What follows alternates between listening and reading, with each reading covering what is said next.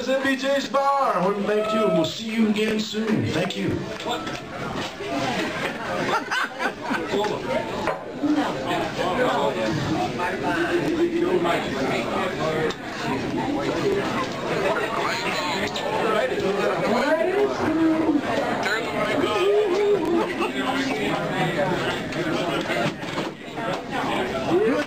Yeah,